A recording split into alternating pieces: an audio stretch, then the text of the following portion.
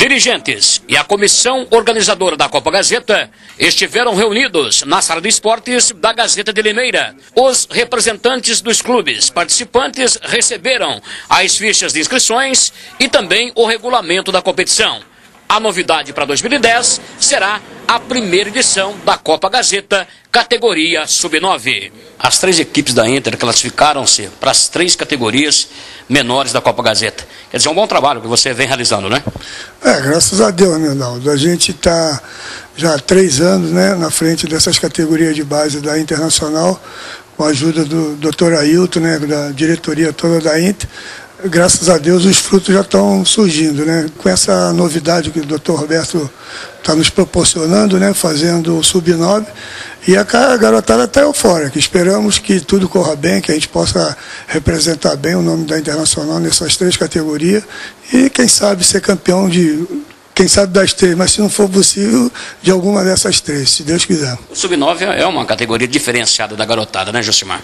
É, tudo, né? É, tudo é novidade para eles, porque taticamente é difícil você orientar a criança ainda, né? Que são oito, nove anos, mas tem os meninos né, que sobressaem, tem uns meninos inteligentes, que a gente vai procurando, eh, desde pequeno, já posicionar eles bem, e eles têm surpreendido a gente. Esperamos que eles possam fazer uma boa apresentação, não só a minha equipe, mas com todos todas as equipes, né? E que no final ganhe o melhor. O que vem a ser o Instituto Abrace?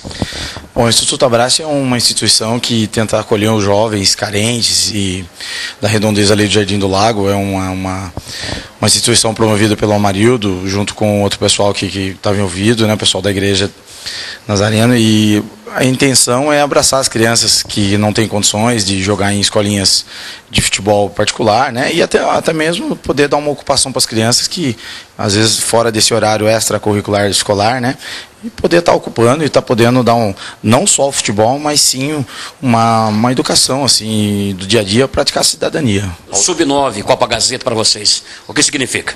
Ah, para nós é inédito, né? A gente vai entrar com um abraço aí, uma mescla de, de, de dos nossos, nossos alunos lá, até tem um pouco de alunos da, da escolinha do Amarildo, junto com o abraço, para nós é inédito. Primeiro ano da, do Sub-9, nós nem classificamos como CT Amarildo. O Abraço já, já ocupou essa vaga que seria do CT Amarildo, como nós não conseguimos a vaga como CT Amarildo.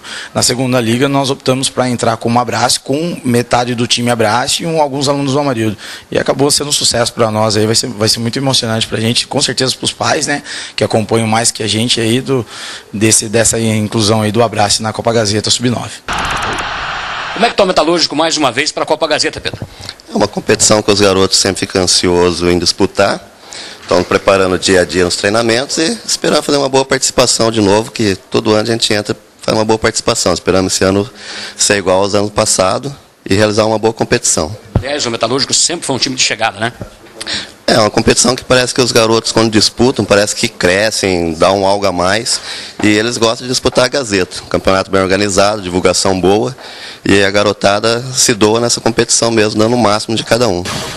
Mais uma vez, sua equipe representando Iracemápolis na Copa Gazeta, né, Padovan? É, tivemos um, bom campeonato esse ano, graças a Deus, né? A equipe foi muito bem o, nas duas edições, né? Onde sagramos campeões. E agora é é como se fala, né, agora que a gente vê realmente a, a qualidade do time da gente nesse campeonato, que é muito bem equilibrado.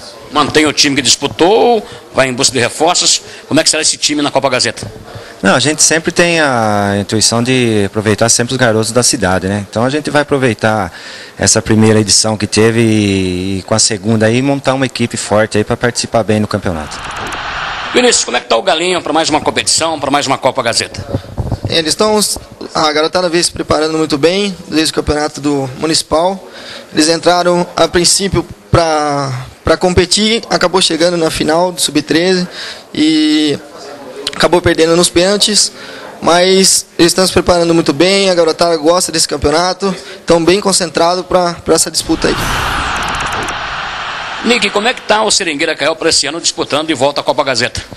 Ah, o, grupo nós vamos manter o mesmo, né? É, que nem foi falado na reunião. Nós vamos trazer alguns jogadores para dar uma reforçada numa, em alguns setores lá que estava deficiente, mas o grupo vai ser o mesmo. Agora, em se tratando de Copa Gazeta, a expectativa é completamente diferente, né? Diferente, é diferente, né? É na Libertadores do Amador de Limeira. E é um campeonato fora de série, né? Todo mundo que queria estar tá jogando nessa Libertadores.